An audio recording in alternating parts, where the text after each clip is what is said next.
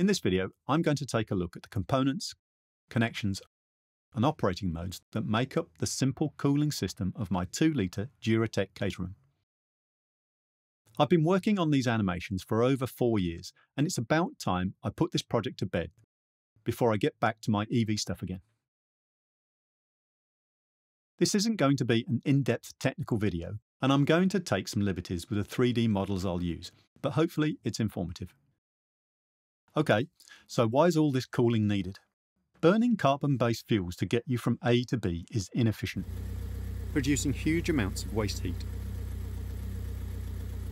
And the more power the engine is producing, the more waste heat it creates. Much of it is excess energy that needs to be removed from the engine before it causes problems. So a cooling system is needed to keep the engine temperatures in check and for the engine to be working at its optimum Goldilocks temperature, not too hot and not too cold. So let's get a bit more into the weeds by listing all the different components, coolant loops and operating modes. Probably the most important component in the cooling system is the thermostat. The thermostat is a temperature controlled valve that sits at the engine's coolant input and governs which cooling loops are flowing at any particular temperature. In my very crude kitchen oven tests, when gradually heated, the thermostat starts to operate at about 92 degrees C and is fully open by 108 degrees.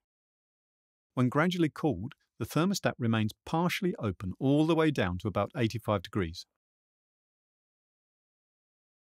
A small impeller-based water pump is set next to the thermostat and is driven off the engine ancillary belt. Higher engine revs mean more coolant flowing and therefore more cooling. The main coolant radiator is what transfers excess heat energy from the engine into the air flowing through the car. Air is either forced through the matrix when the car is moving, or if the car isn't going fast enough, then a fan is used to provide airflow. A critical component in the cooling system is the expansion tank, which has three broad uses trapping any gases that build up in the coolant, allowing space for coolant to expand into as it heats up, and providing a pressure release valve in its cap.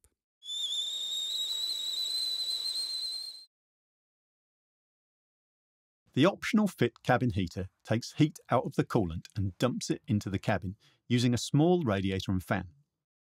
Not all Caterhams have a cabin heater fitted. There are all sorts of upgrades you can do to the coolant system pipework, but I'll keep it simple here and just say that each pipe presents a sort of resistance to flow.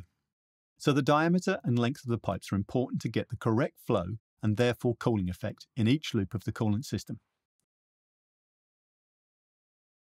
The coolant in a modern car is a mixture of deionized water and glycol, all together often just called antifreeze. OK, let's now look at how all these bits and pieces are connected to form four mostly parallel loops. We have a main loop, expansion loop, radiator loop, and recirculating loop. First up, we have what I'll call the main loop. Unlike all the loops, it takes coolant from the rear of the engine and then feeds it back into the front, in this case via a T-piece and the thermostat housing.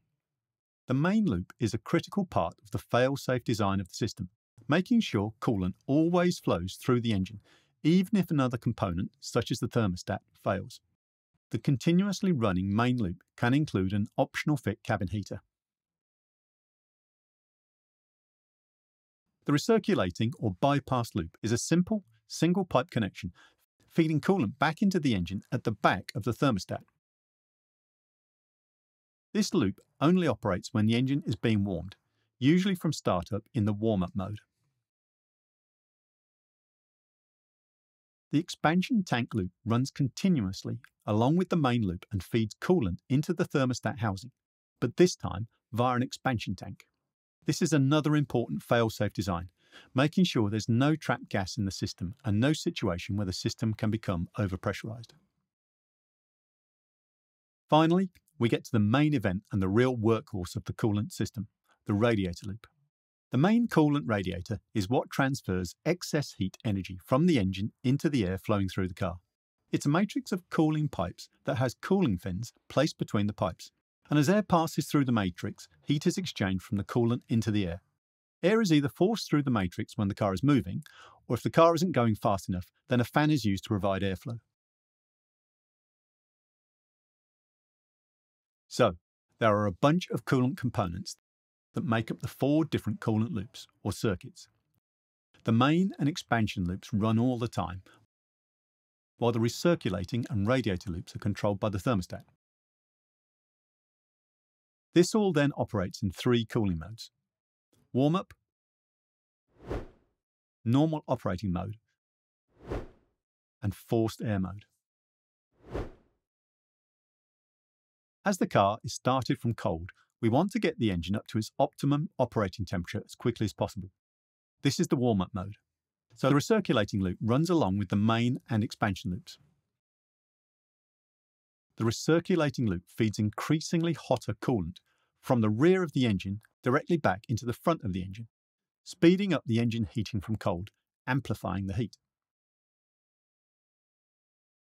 Once the engine coolant is up to its operating temperature, we're into the normal operating mode, where the thermostat extends and contracts as the coolant temperature rises and falls under different engine loads, allowing more or less coolant to flow in the radiator loop.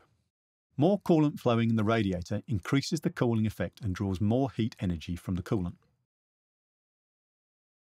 Finally, there's what I'm calling a forced cooling mode. This is when the coolant temperatures get to where the thermostat has opened fully and the ECU's only option for keeping temperatures in check is to turn on the fan, which, if everything is working properly, should mean only at low vehicle speeds. The cooling system is designed with thermostat pipes, pump and radiator able to dissipate all the heat the engine can produce, even on a track. On a standard Duratec 7, the fan is set to come on at around 105 degrees C, when the thermostat just hits its maximum extension. So this would normally only need to happen at traffic lights around town or coming into the pits after a track session. And that's how my engine's cooling works. We've looked at one of the simplest cooling systems you can find in a car still sold new for the public roads. We looked at the components, how they're connected together, and how they operate to keep the car's engine running in its Goldilocks zone. It's an ingenious system that has been around for many decades, perfectly good enough to keep Goldilocks happy and the three bears wondering what happened to their porridge. For more videos like this, please like and subscribe, and as always, happy blatting.